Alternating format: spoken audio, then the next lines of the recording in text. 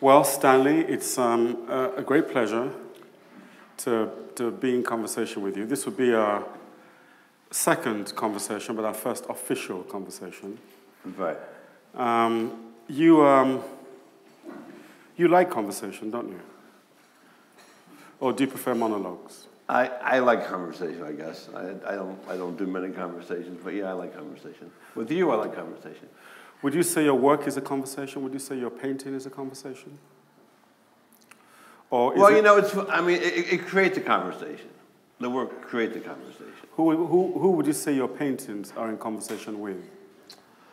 Well, I think the paintings are really, uh, with anyone, uh, I think the color of the painting creates conversation. So they're meant to be lived with, they're meant to be lived with more than looked at. You know, I mean, as opposed to this, I mean, people live with them. I think people are going to live with them. So how they, how they create conversation, I think is interesting to me. Um, what about the conversation inside you with art, with culture, with race in America, with history? Oh, that's a big that conversation out of you, out of which the paintings come. I, I, yeah, yeah, yeah that, that's, that's sort of like, that's sort of how, what influences the painting. Yeah, so that's a big conversation. I mean, um, yeah, that conversation's big um, in the, the making of them, the titling of them. Um, so yeah, that's a big conversation. The only reason I asked that question is because Yeats, uh, the great Irish poet, said, um, out of conversation with others uh, comes rhetoric, out of conversation with ourselves comes poetry. Yeah. And then he had a different dictum about 10, 20 years later. Um, and what did he say? To I think he more or less said the opposite. Oh, yeah. well, that makes sense. It makes sense. If you, don't, if you don't contradict yourself, it doesn't make sense. Has your, do you want to just tell us about your artistic genesis? Because I think a lot of people here know your work uh, and know, your, know of your extraordinary reputation and your place in the, in, the, in the living American canon, but might not know actually where you came from or how you stumbled into or deliberately walked into the terrain of art? Well, it's a long, it's a long conversation. um, I, I, you know, I was always an artist. I always drew all the time. You know, I mean, I mean, I sort of felt. Um, Did you draw as a child? Yeah, constantly. In fact, I drew. I, I drew all the time, and in kindergarten, well, in the states, you go to kindergarten, then first grade. And so I could draw all the time in kindergarten, but then I had to go to first grade and have to start to read, which was a real. Uh, I didn't want to read. Uh, so I, I, I sort of felt like I spent my time from then to till I got to art school looking out the window.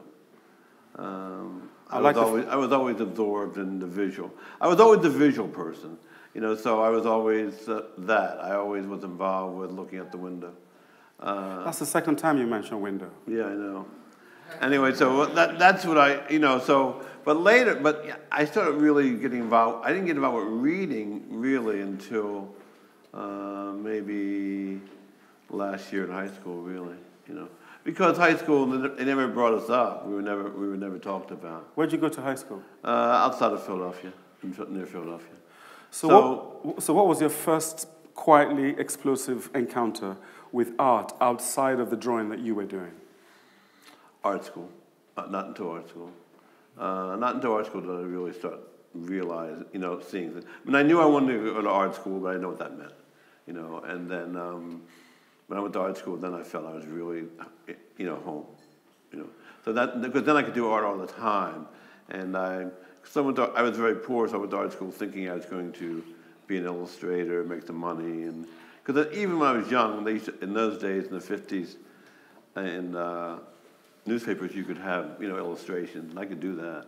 They said, and from my neighborhood, they said, "Oh, you draw up those things, you can make a lot of money." I thought, oh, "I can do that," you know. So that's what I was going to do, you know. And then you had record covers and you know all that kind of things when you're young. You think, "I can do that," you know. So you thought, "Well, I'd go to art school, learn that, make the money." I, I didn't know about painting or uh, what that was, you know. So but once I got the painting, uh, I fell in love immediately. Who was the first few painters that made you fall in love with painting? Who Uh, was it? Cezanne, Cezanne was the first Cezanne, one. Cezanne, The fa- practically the father of abstraction. yeah, Cezanne right away.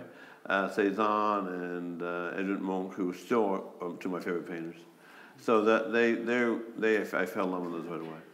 Those people, and then, you know, you build on other things. But those are the two that, that I fell in right away, and I still am in love with.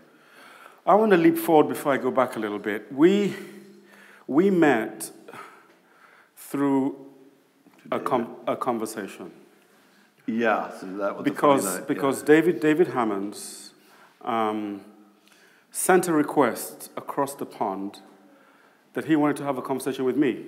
you know why? Carry on. Okay, because I, you know, I read the book Famished Road, right? And David was going to, we were, David and I were in Rome together, and David was going to do a piece with Cornelis, but he didn't know what he was going to do uh, at, at, the, at the American Academy. So I gave David your book. So you're responsible for this conversation. Yeah, and yes. and David and David read that because David didn't know what he was going to do, and David uh, read that book, and then he did a piece of uh, in, in the tent uh, with uh, an African sculpture with sand coming out, as opposed to water in, in the states. So that book was a real inspiration for David uh, to do that. And then we always talked about you, and uh, we always wanted to meet you, and. Uh, and then when I did meet you, what happened was I'd having dinner with David, and, and David said, "There's going to be uh, someone's going to come." I said, "Well, who? Who's going to come?" He said, "Oh, you'll see, you'll see, you'll see." And then you showed up. So, so my question is, tell us about your friendship with David Hammons. I mean, you're two quite different artists. You share a kind Well, we- you, you share a similar stance in terms of the courage of your standing outside and inside at the same time. Just te- tell us about. Well, I, you know, David and I, we were we were friends for a long time. We're not so much friends anymore. Oh, really? Yeah, really. But we were friends. Uh, we we were we were. Uh, why not? I don't know why. I don't know. We have to fix that. Yeah. Think so. Anyway, but uh, we knew each other for a while in New York, but then we both came to Rome, uh, and uh, that sort of sealed our conversation, uh, our, our friendship, and we sort of traveled together since then. We were very influential to one another. People found it kind of odd because of what I do and what he does, but uh, in terms of our mental conversation, we we we we used to talk every every week on the phone. Even now, we don't anymore. But anyway, we were really uh, those, those were good years. Th- Those were early years. I sort of meant. I, I always think I knew David Hammons before he became David Hammons. You know, what I mean? before he became. And maybe he knew you before you became Stanley Whitney. Yeah, definitely, definitely. He definitely knew me before I came Stanley Whitney. So you're both. You're both. I'm you're not quite Stanley Whitney yet, so, but he is definitely David Hammons. what, what do you think it'll take for you to become Stanley Whitney? Because I think. I, I, I know uh, it's, it's like believing that you are Stanley Whitney. Well, I, I, we all think, we all know you're I know you all believe it, but I, uh, it's for me to believe it. Anyway, I'm, I'm, I, I don't know if it's a good idea if you do believe it, tell you the truth. You know, um, You think the uncertainty and the doubt is well, I think you know, I think you know, for so long I was sort of, I could be someplace no one, and I'd be invisible. You know what I mean? So it's odd, it's odd to be, it's odd to be visible. So you could go somewhere, you could go, because I, you know, for me, I like to go look at art. I look at, like to look at art a lot. So it's, it's odd to me to go look at art and someone, you know, walks up to you and knows who you are. I mean, you know, as an artist, you, you used to be invisible. I mean, when I taught, I taught art school, and people, like, you could have, artists could come, artists could be in an audience like this, and the art students wouldn't even know they were there. Because it was before the internet, before that. So you could have, you could be in uh, some place, some artist giving a lecture, another artist could be in the audience, and the students wouldn't, art students wouldn't even know. So, but now, because of all the media, people know who you are, what you look like, you know, they know all about you. So it's very different. So uh, that's all kind of new to me, and um, you know, it's just the way it is. And it's not a, it's not, it's, it's a good thing. It's not a bad thing. You know, I'm happy to be. People love the work. You know. Well, we, we absolutely do. And I've, got a, I've got a question about numbers for you. I'm 96. not good at numbers. Go ahead. You're, you're, you're really good at these numbers. Okay. You're really good at these numbers. 96, which comes to 15, which comes to 6, 72, which comes to 9, 60, which comes to 6, 4, which comes to 10, 20, which comes to 2, or 12, which comes to 3. Why those numbers? No idea. No idea where you are. No idea. They're, these are the seven um, size squares that you tend to limit yourself to. Oh, that, that that's because um, you know it's it's like everything else I do. It's kind of filled out. I mean, um, some of some of it's just odd, like the small like the small paintings, the twelve by twelve. Yeah. Um, that was something, the little paintings happened because uh, used to be an old art supply dealer in New York, David Davis. I used to buy art supply, and one time I went to get some paint, and he had a, a bunch of little canvases stretched up in a box, you know, and I thought, oh, those are interesting. And so I took, took a couple and I just painted them. And I painted them, you know, sort of like, again, like the end of the day, I just painted little paintings. And um, it was on, the, on, those small canvases. On the small canvases. It was like an, you know, you're always looking to expand your practice. And I was thinking, well, this might be, in a way, you let things, you open things up so things come to you. You know what I mean? So these little canvases, so I started making these little canvases. Uh, and then the square paintings, the way I got to square was, I didn't really want that. Um, I, was, I didn't want that uh, landscape, you know, the, the wide landscape. And then I was in Rome, uh, and I just wanted to go something more classical. And actually, the square uh, was more of a challenge because uh, I wanted to have things be have a good rhythm. In a rectangle, I can move, move, move, move, move. Uh, but in a square, it's really uh, difficult to get a good rhythm. And so it's a real challenge to have that kind of really tight so space. It's a, so it's a limitation? The limitation, okay. really tight space. And so sort of like just really condense it. And it was really for the drama, you know, to have that, because you really want to have that drama uh, in art. So that was what that is.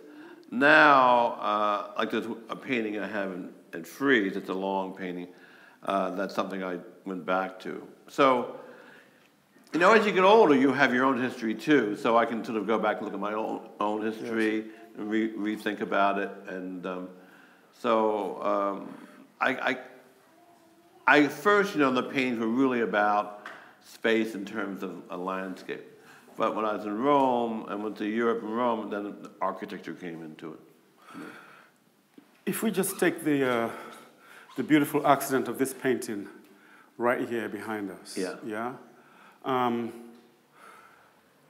when I look at that painting, my first feeling is that I need to look at that painting a hell of a long time. Yeah. I feel I need to understand the, the relations between the colors, some of those gaps, some of those canvas points, as it were, Cezanne like, that sort of comes out in the edges of the colors. I'm fascinated by the drapes, um, the, the intercalation of upper and inner colors, and the, the dialogue of the colors be, beside one another.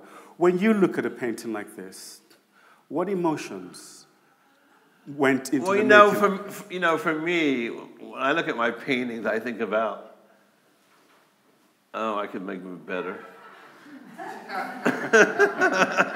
I, you know, it's hard me. When I look at my paintings, I, I, I, think about all the, relation, all the relationships, and I think about really, you know, it's hard to, it, when, you're paint, when you're painting, it's, when you're painting, it's hard because you're trying to paint something, you, you're painting something that you don't, trying to paint something new. So you don't really recognize it. You know what I mean? So it's very hard. So you're really in a zone because you, you don't, you're trying to paint something that's, that you, why would I want to paint something I've seen before? So I'm always painting something I haven't, haven't seen, seen, before. Right. So it's, uh, and then you sort of, you're, at the same time, you're sort of trusting yourself too. And so you're always, you're always like, it's always doubt. It's always doubting where it is. Like, is the painting there or the painting in my head? Like, where, where am I, where is the painting, you know? Yeah. So even for me, like, you know, like I don't live with my paintings too much because for me, it's hard, it's hard for me to really live at my work because I'm thinking, well, I could, because I have it, I, I have it set up so that um, if I change the color, the whole thing falls apart. Everything's always moving. So I'm, when I look at a painting, I'm thinking like, well, I could make, I should, I could have made that red a little red, or why are those white marks? You know, I should have made the color more meat. So you look at you look at the inner craft. Yeah, I'm, I, I, get, I, get, see, I get involved with the craft. So, but, uh, but where would you tell us if if I was seeing your work, this painting for the first time? Where would you say is the first place I should look? I wouldn't tell you that. The only reason I asked that I wouldn't question, tell you that, but the only I, don't, reason I don't know. the only reason I asked that question is because there was a time when there was a first place in the painting that Oh, yeah. started from yes, painting. yes, yes. And But it that- tended to be that, the upper. But that, but that's nothing to do with. The, I don't see that's part of the do with the viewer. That that's um, yeah, that's true. But you know, 'cause, uh, that's not really. do you still do that, starting from the upper left-hand corner? I, I do, I do, I do. Why, why, why, do you, why, why the upper left-hand corner? It just feels good Are you left-handed? sometimes. no, I am when I play. I am because I do some left and right, but I, no, I don't paint left-handed. Have you But- ever but, you tried? know- have you ever tried starting from the lower right-hand corner? No, no, no. Because you know, it's just what like what you know, would happen like if you did? Uh, I have no idea, but it doesn't make any. That's not. That's to me. That's not the issue because, you know, you do, you start off with things where where things. You know, I think artists. You know, probably you too as artists have certain things that you do. How you get into the studio. You know how you how you work. You know where you work. And so for me, it's sort of like, it doesn't make a difference where I start uh, so much as, as sort of where I end. I, just, I start at the top and work my way down. You know, when I was in Egypt, you know, looking at things, they, they work from the bottom up. They do, You know what I mean? they do, yeah. But I like the idea of the idea of gravity, you know, working the way down. It's like a waterfall. I like the idea of things falling down and using, and using gravity. Now, that kind of idea, you know, when you're young, uh, you go around look at all, all the artists and you think about what you can steal, what you can, what you can, what you can get from every artist, you know. And if you're a really serious young artist, you really want to go out and study, look, look, look, look, look. So for me, there's certain things like say if I see about Morris Louis, like oh gravity. Certain things uh, I see from other artists, uh, different things, you know. And so. Um, but in terms of how things feel, you know, that it's like I, in the beginning I start, I probably could do different things. Once, once I'm working, it doesn't make any difference to me. You know, once I'm working, I, I can, once I'm working, I don't go across and then always go across that way. I can go anywhere because of whatever, whatever, whatever it needs. You know, Okay. I do whatever it needs. If I figure that um, sometimes I, sometimes I can go through the painting once and I can think that's it. Other times I go through the painting and I maybe go two, two or three times. Whatever it takes, whatever it takes. These are, these are what you call afternoon paintings. These right? are afternoon paintings. These are paintings that happen uh, because of what I do. I, I my my power time really when I work, you know, is in the morning, and I like I like getting in the studio by ten o'clock, working in the morning, and maybe by two o'clock I'm totally exhausted. I can't work after two. I mean, I'm, by two or three o'clock I'm kind of done, and um, I've been listening to the same music for when I work. Who do you listen to? I listen to this uh, this uh, Miles Davis Bitches Brew. I listen Ah, to it all the right. time. Okay. And uh, I'm surprised, I, the work I'm is so, I'm surprised the work is so calm if you listen to Bitches. I know, I know, I know, I know, I know. It, uh, and I've been having. I didn't. Re- I didn't realize I've had that on for like maybe 30 years. My goodness, wow. but and it's That's the longest painting soundtrack in yeah, yeah, exactly. And I and I kind of uh, I get into a zone and I paint. And then uh, usually I'm working like if you saw the, if you saw uh, uh, Frieze uh, the big paintings. I usually work on a, I work on usually a big painting, and then after that maybe a 96 or 72 or 80 by 80, and then after that I I have paint left over and. Um, it came off first with the 12 by 12, And then one time, I ran out of 12 by 12s, and I had the 40 by 40, and I said, I'll just paint that very quickly. He's going through the numbers. Yeah, yeah, yeah, yeah, yeah, yeah, yeah, yeah. Numbers, the numbers. I don't think about numbers. And then I had the 40 by 40, and I just painted one of those very quickly. And I painted it with the idea, like I would do these, I was going to make these paintings for me, and just do some real paint. With it. I'd paint them, and I would, I would just sort of paint them and then walk away. and not rethink them, not So you paint them in one burst, one burst and walk away. Whatever happens, happens, and not go back in them uh, at all. So, so in a way, you're not painting them cold. You're painting them having, I'm as it painting, were, them, I'm painting them when I'm really in the zone. Exactly, I'm really in the zone. exactly. Not until I like, not until I'm really in the zone. Uh, but you know, it's something. It's something I can do now because I've been painting for so long. You know what I mean? It's not something I could do when I was a younger painter. You know what I mean? It's something I can do now. And it's something I can do now too because I have a really big studio and I can see things and I can walk around. My studio is bigger than this.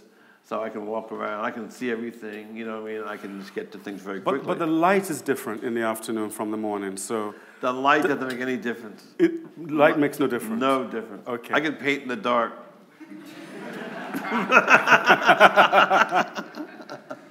you know, I say that because you know you really Have you ever painted in the dark? close. No.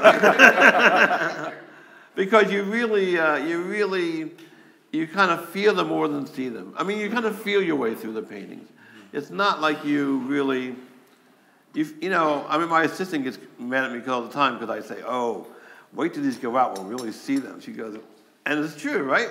You know, and it's right because like I, I at Frieze, I go, "Oh, look at that blue, look at that," because in the studio I can't see that blue so well.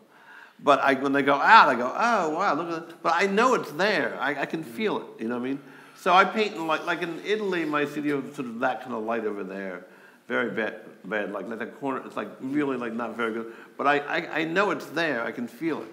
So it's like. Um, uh, that's the way I do it. So it's just, it's, So- it's, it's really so it's intuitive in a way. Huh? It's intuitive. It's, it's, it's intuitive. It's very, So- but it's intuitive because uh, it can be intuitive because I work so hard. You know, because I say so You've, much. uh, you've earned the intuition for the Yes, day. yes, So really, afternoon painting is the, the heat of painting after the hotness of painting, right? ah, that's a good writer. yes. yes. You know, Duchamp had a, a set of conversations called afternoon conversations. I didn't know that. I'm not a real big Duchamp. I didn't know that. I'm not really a big Duchamp person, but I didn't know that. Yeah, it makes sense. Well, Yeah, yeah, yeah, yeah. and um, he, he related the afternoon conversations to the, the, the, the, the translogical. Mm, Um, what does color mean to you? What is color? Life. Color is everything. Color, color is life. I mean, color is so many things. Color is sort of, um, color is like something people don't know much about. You know, color is, is everything. I mean, color is, is magic, you know. Color gets into like, uh, who knows? I mean, that's the thing about color. It's so personal. You know, what's interesting about the, the paintings, because the paintings, because the color, the color creates the conversation. Usually when people buy the paintings, they, they like, you can't show them too many because they'll get confused if they want to buy them. And you, and, you know, because, but, I must uh, remember that. yeah, yeah, because because you know all of a sudden people because it's interesting. All of a sudden, oh, this green reminds me of this or this or this. All of a sudden, it gets very personal, and that's where the story comes in. You know what I mean? The story comes in with the people interacting with the paintings. It's interesting that way about the, the color, but color, and you can you know the way you can live with color and the way you can uh, you know quietly uh, engage with them that's why I think they're really. I try to make paintings that are really about living with them, more, you know, living with them. Because you see them in the morning, you see them in the afternoon. You know, it's where you put it. You see it when you're feeling bad. You see it when you're sick. You see it when you're happy. And so everything shifting, shifting, shifting, shifting. Paul, uh, Klee and uh, Matisse both say, almost with an exclamation, that they became real painters, which is to say, real colorists, Yeah. When they went to North Africa. Yeah, yeah, yeah, yeah. What was your North Africa? Well, I think when I went to Egypt, uh, but it wasn't so much color that way. I always, I always had the color. I mean, I always, I always, I, I had always the color. I always had. Um, when I was young, I went to a little art school in my hometown, and I was the only little black kid in the room, and I painted, and they had a model, and we painted their face, you know, and I, I painted every color, you know, I, I painted every color. I was, like, I was 10 years old, and the teacher loved it, but everyone else's was like black and white and gray, you know what I mean? And I, teacher loved it. And I was like, what the hell did I do? and uh, I took it home. I showed my parents. I said, well, what's that? You know what I mean? I never went back. I never went back. But I always had the color. The color was always there. But I didn't know, even through art school, how to make color subject matter. You know, I didn't know how to make color subject matter. And I saw people use color, and when I came to New York in the 60s, people were using color, but I didn't even like their color. I mean, for me, uh, I didn't like sort of what I saw in terms of Noland's color or, Stella's color, people in New York school. I mean, I came out of New York school, you know, because I, I, thought New York school was everything. Because when I grew up in Philadelphia, New York was where you wanted to be because of, you know, the jazz scene and, mm and that seemed like New York. We got New York and then Paris. That was the idea. Uh, so um, the color was there, um, but I didn't know how to really handle it. You know, it took me a, took me a long time to figure out where you know really. What was the turning point? The turning point, um, really, making the paintings. God, it took me a long time. Probably. Was it 68? Was it 81? 60, no, no, it wasn't 68. 68, no, 68, I didn't know where I was. Uh, I, uh, in the studio. No, it wasn't until maybe, I, I tell you, maybe late 70s, early 80s. I mean, I really, from, from art school from 64 to graduate school 72, I was just trying everything. And then when I got to New York 68, uh, then you saw sort of things like Barnett and Newman, people like that, which you couldn't do anything with. I was like, because I was interested in uh, Spanish, the Goya, Velasquez, uh, you know, and uh, all, you know, people you could really steal from. You know what I mean? In fact, I because, still because I still, they were far well, away. Yeah, enough. well, no, because you could say, but I still think about that. Like I still think like, oh, if I look at a, a Goya, you know, he could Goya could paint, you know beautiful red slash. I go, oh, look at that red. I can steal that red. So sometimes I'll paint a painting and have a red slash and go, oh, Goya, you know. Uh, so the bits of Goya there's, scattered there's good, there's bits of all, his, all art history in the painting. I want a, I want a system. But it's in the color. In the color. I wanted, I wanted a system that really allowed me to paint. Because, you know, you could look at, you could look at like uh, Courbet or something, go, oh, look at that beautiful, you know, uh, I don't know. You could say red. You could say red hair or or or, or, or pink somewhere. But, so in these paintings, I, I can paint like all kinds of things about painting. You know, all so that people, could be like a pink from, or red or blue or gray from Courbet. You know, I mean, or or, or Corot, anything. But all these people you mentioned are all figurative painters. No, but it's all what, paint. Yes, I know. It's all paint. I know, but at what point did you turn abstraction, and what does abstraction mean to you? Oh, total freedom for me. To, uh, you know, it doesn't make, for me, it doesn't make, I don't think of myself in terms of like, I mean, I think painting's painting. Like, I don't really think, it's a good paint's a good painting, you know? And so it's paint on canvas. So uh, I don't, your subject matter, you don't have much choice about, I don't think, as a painter. And do so. You, do you have a subject matter? Color. Ah. I thought so. You know, so uh, it doesn't make any difference to me if the painting is trees or figurative or whatever. It's just if it's a good painting, you know. In the, in the 60s, um, the African American artist was expected in a way to, for want of a better phrase, be part of the struggle. Yeah. And to be part of the struggle, and to be part of the struggle as a painter, um, figurative, because yeah. it conformed to the visual correlatives of society right. was the preferred mode. Yes. So you were, in a sense, a bit of an outsider and maybe even frowned upon. I mean, before yeah. you speak, I want to say yeah. I'm saying this in great sympathy because in Nigeria we had a, the same problem in a, difficult, in a different form. Yeah, yeah. The writer was supposed to write about social issues, was yeah, supposed to attack governments. Yeah, yeah, yeah. And if you wrote a love story, you were betraying the revolution. Yeah, yeah, yeah, yeah. So, no, I was. I, I, I mean, I feel, I feel it's true, because I was even in 60, 60... So how did you reconcile that? Because you're not indifferent to black issues. No, no, not at all. So how do you I reconcile? I can't be. no, I don't want to be. No. Um, so how do you reconcile that? It was difficult because I mean, I, to me, I figure like I remember even in Kansas, I went to school in Kansas City during during you know during the '60s because I was in in the Midwest the, during the '60s, you know. Um, and that was like sort of a safe haven, but it was still really. I mean, I remember Wallace running for president when I was in Kansas City, so it was really like you know, it was. Really, It was I feel like I in the war. I, that's how I look at it. And so the, the Black Panthers would come by, and I would tell them, "Tell them not here." I'm in the, I'd be in the basement painting. they go, "Where's Stanley?" I say, "Tell them I'm not here," because I couldn't figure out really how, to, how. I knew I wanted to paint. I knew I needed to paint, but I couldn't really justify, you know, my painting. Uh, like sort of like Baraka, Amiri Baraka he was someone who always sort of haunted me, you know what I mean? Because I thought, how do I face Amiri with painting these paintings? Um, but then I realized sort of about mental health. I, I, sort of realized it, but early on I couldn't defend my position. You know, I couldn't. I Could you defend it to yourself? Myself, I just knew I had to do this. You know, so I was. I, here I am. Kansas City's burning, Newark burning, and I'm painting. You know, but I think of myself. I think, well, and then, then I go to the, I go to the image of Matisse painting in, in, in Nice with the Nazis doing on the street. You know what I mean? And the importance of that act. Or even Matisse's paintings versus Picasso's Guernica. You know, that's something that still I think about. You know, because Guernica is such an important painting. You know, and such a and, and Guernica, there's a great book that's called about Guernica, you know. Uh, and that painting's so important in terms of the 30s, you know what I mean, and 40s, 40s war, all that. And then Matisse painting these beautiful paintings, you know, in Nice.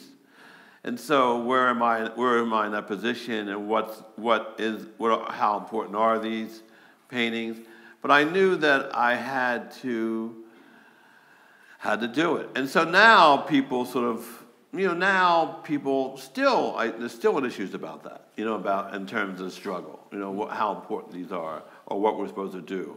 Or, you know, I call it the black police, you know, I mean, the black mm. police. The black aesthetic police. Yeah, yeah, the black police, yeah, we're going to come get you and, and defend, you defend your position. But I, I figure now, this, I mean, now I feel very comfortable about in terms of, you know, uh, how important the mental, mental struggle is, you know I mean, for us and what that offers us in terms of being these paintings being able to you know give you the mental strength to uh, you know, get through things. You believe paintings can give you mental strength? Yes. Yes. How do you think they do that?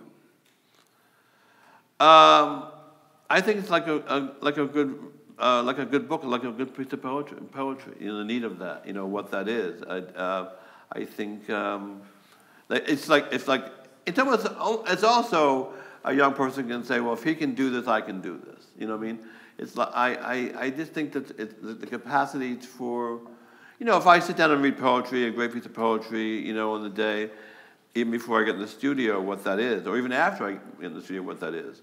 Uh, it's just something, I don't know, you tell me. It just, it just gives me that strength. I, I noticed that you have this uh, relationship with poetry, with music. You use poems yeah, yeah. Um, you're inspired by poems in yeah. your paintings. You like Rilke, Neruda, people like that.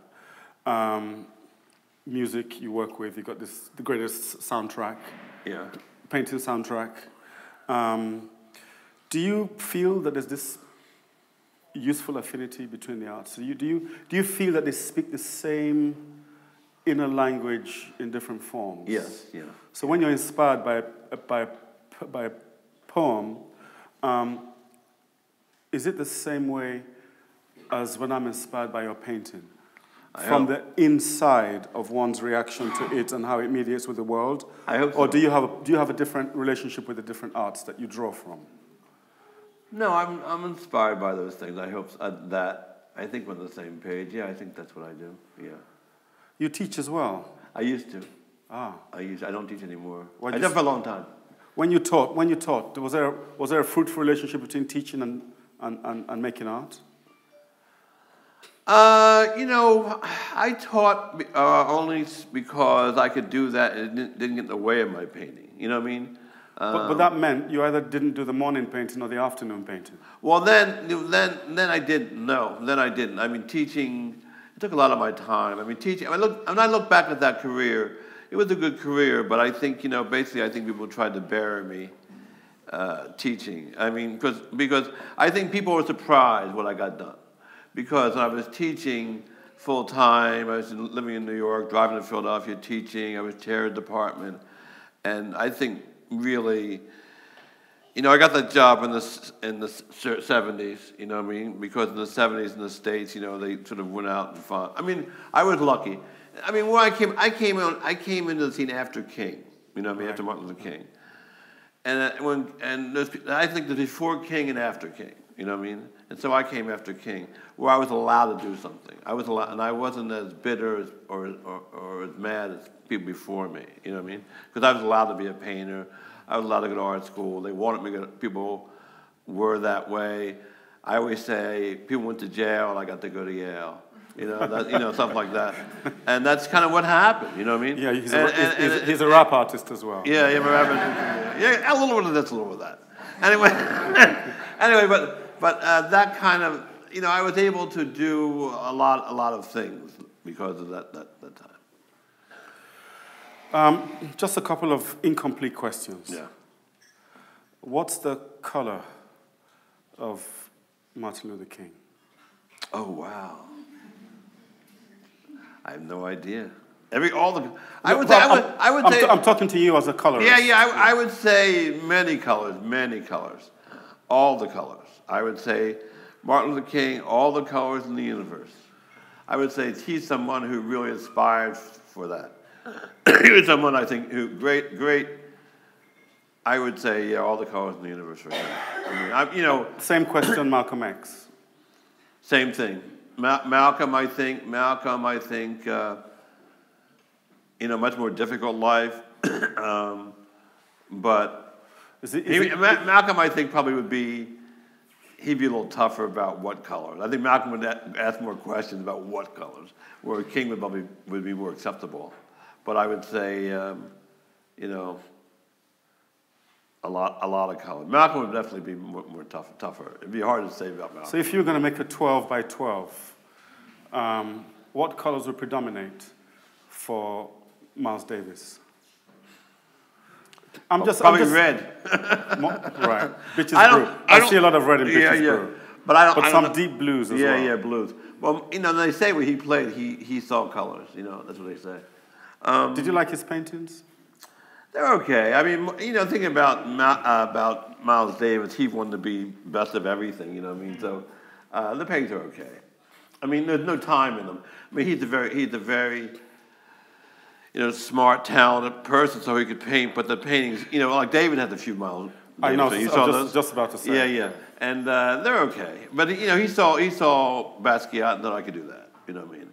So, and he did. They're okay. They're, you, they're not bad. You said somewhere that Basquiat meant a lot to the evolution of the status of the black artist in America. Do you still feel that? Yeah, yeah. And is that a continuous dynamic thing? He was very important. Basquiat was very important. He knocked down the race wall. You know, he flopped it down. Uh, and how he did it, I don't think he knew that, you know, what happened, but he opened the whole door. I don't think it was his intention, because I think he just wanted to be famous. But I think, you know, him, and, it, and the way he used Warhol was something no one thought about. Uh, so he's very important. Um, in your afternoon. I'm sorry, I didn't know him better. Did you know him at all? No, I, I kept my distance. Same with David. Yeah, yeah, yeah. yeah we kept our distance. But it was a mistake. Um, in your after- he was too much on his own. I mean, the reason he died, he was too much on his own. I, I think that's why he died. He was too much on his own. Because he didn't have other black artists. You know, yeah, artists? I think he, he, he, didn't have that. Like that's one thing. Community. Dave, I think Dave and I use it that way. Early on, we use each other that way. We both traveled together. We we decided we weren't going to be in one room together. We really used each other that way. We don't need each other that way anymore. But early on, we used like we would. You were like a community together. Yeah, we were a community. So we went somewhere for a show. We went together. We were always together. You know, so that you know, even you know, I was all we always did think that we decided to do that. We made a we kind of made a pact. Uh, you know, there was me, Marina, David, and I. We always were together. We just went everywhere together. How is it? How does it feel painting in America today with the kind of um, president you've got? What's the what's the what's the color? What's the smell? What's the air in the room? Hey, like? you don't want to go there. The smell. the smell's pretty bad. Uh, it's, it's tough. You know, but I, you know what? But you know, I, it, I say, it, but I, for me, see, for me, uh, being black man in America, I've always dealt with the smell, and I've always, I've always, I got painted, I painted the war before, so I'm, I got to paint to the war again. If I got to paint to the war again, I paint to the war again. I've been there. I've always, I mean, I've always, I mean, I've always seen Newark or, or Chester, PA, or all these places in North Philly. It's always been bad for us. It's never been good. I've never seen it good. So it doesn't really, I'm not as upset because I, I it's, it's always been bad.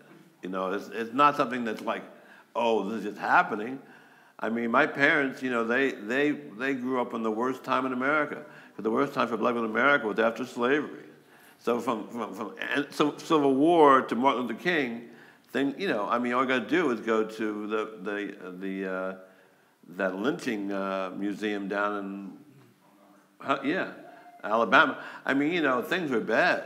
This, for me, is like I say, well, look, you know, I, I didn't go 10 years old, I didn't go anywhere without my, my wallet, my passport, you know, because, I, you know, they, they said, where you gone? If I left my street, they say, where you going?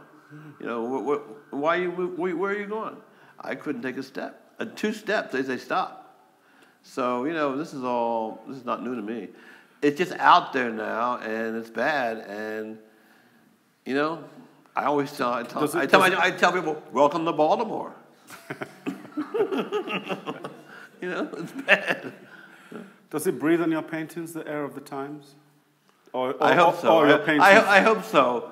My paint, my, the paintings are strange. The paintings are strange. I think that's the thing about people. They're strange. They're not. They're not what they. They're not what they seem to be. That's what's interesting about the paintings. I think for me, even for me, they're strange because you can't describe. If you describe them, it doesn't mean much. You know, if you say, "Well, color squared," well, yeah, it's nothing. It's not a great idea. Uh, they're strange. You know, you want that drama that's strange or something. S silly question. When is Whitney going to give Whitney a ex big exhibition, a retrospective? Yeah, well, welcome home, huh? Uh, when they have the nerve to welcome me home. You know, if they have the nerve to welcome me home. I think if my name was Basquiat, they might give me the show, but Whitney's hard. I don't know. I want to. I, I, I want to open it up for one minute. I'd like to open it up for one minute if it's possible. Does anybody here have any any questions they want to ask Stanley? Um, I have a question actually. I have two questions, very short. Okay. Um, the first question is when I look at your paintings and I look like uh, the, the, surface, they have different dimensions. Uh, there are some recurring geometrical like squares, right. and yet there is a level of freedom. It's almost like in um, a certain music from the 60s, Ornette and all that, where the question is what tricks do you use to beat um, the, the, the, repetition and predictability? Because you work within a very narrow aesthetic and yet it's unpredictable, like a lot of free improvisation from Ornette music. Uh, the second Shall is... we make it that, just that one question okay. to give others a chance, please? Uh, you know, that's, that's the idea, you know, to have something that's really you know, to, to, for the drama, that's something I really work on to have something that's really these contradictions, lots of contradictions. So you can't really because life is always, you know, nothing. You're all we're all on thin ground, and that's sort of, sort of having that thin ground. So things are always, um, you know, um, shifting, and things are always nothing's really, you know, you can say right. You know what I mean? So. Uh, the, system, the, system I, the system I did is so that I can go anywhere I want, whatever I want. You know, I don't have to wait for anything. If I want to put a blue down, I put a blue down. If I want to put a yellow down, I put a yellow down. And that's very important. Um, so this, this, this system I have developed over time. It wasn't like, I didn't, I didn't make a drawing and then add the color. The color made the system. Hi, first of all, thank you for being here and giving us this uh, opportunity to. What's the question? Yeah. the question. The question is, uh, you mentioned a couple times, I think only twice actually. I mentioned um, what? You mentioned a couple times earlier that um, you you look at like a Goya and you see uh, I'm gonna steal that red from Goya, or something like that, right? Do you still steal from other paintings in that same way, do you, or do you, not does your relationship no, with you know, color now, change? Now, as I get older, not not as much. I mean, I enjoy not as much as I, when I was young. You know what I mean? Uh, but um, yeah, when I go, I go to, you know, say, uh, museum and look at a painting. You know, it's great now I can go to a museum, look at one painting and go out and go home. Um, so yeah, I go and see things and go, oh yeah, that red, I, yeah, yeah, I can do that, use that red, but not as much as I used to. When I was young, I really was. There's a lot of paintings I wish I'd seen. A lot of paintings I wish I'd seen when I was younger that I see now that I don't need. I don't need. You know what I mean? I don't need. I don't really have the same kind of needs. You know, because the older artists, you really want to. The big thing now is how do I keep this alive? You know, because I, you know, it's like keeping things alive. And how am I going to feed it, keep it alive? But not as much anymore. Hi. Uh, do you ever paint without music? What? Do you ever paint without music? Do you ever paint without music? Uh, sometimes, but not that much. I mean, sometimes I do. Um, you know, it's funny. You know, when I paint with the music, you, you sort of become the music. You know, I mean, not that you're listening to the music. You sort of become the music. So, um, you know, there's a story. There's a story actually. Marina told, told and Ken is in, in uh, in Rome, I had a small studio I taught in Rome, and I would tell the students, "Don't bother me when I'm painting," you know. And um, and I, I would, when I got there, I would, I would show them the door and say, "Look, I'm in, this is my studio." I said, "If you have a question, I'm in the studio, you know, don't bother me when I'm painting. If you if you do slip something on the door, but don't knock on the door. If you do knock on the door, it better be important." And so, I, but and Marie said, "Oh God, everyone knew when you were painting because the music blasts over the whole studio." you know, so uh, I, I didn't know that. And um, I kind of start that way, but then I'm kind of in and out. You know, you, you're in a zone, you're in a zone. You, you, you work for that. I mean, you, you, you, you're start thinking about the day before I'm going to paint. I'm going to paint tomorrow, you know, and you prepare, you prepare. It's how you get in the studio, you know, it's how you get in the studio. And so I get in the studio, you know, I turn the music on, but, uh, you know, I'm, there. I mean, I, I, can, I can even think I don't want to paint sometimes, but I have to paint. Um, and then when I get in the studio, I'm good. You know, you know. Well, it just remains for me to say thank you both very much. Thank you, Ben, for being such a gracious host. And it's been a real pleasure. And I, no, it's been a great I had pleasure. questions I wanted pleasure. to ask you both, but um, we'll save them for afterwards because everyone's got stuff to do this weekend. And thank you, Stanley, for talking about the colour of struggle and drama and everything else. So just give these guys a round of applause, please. Thank you. Very good. Good.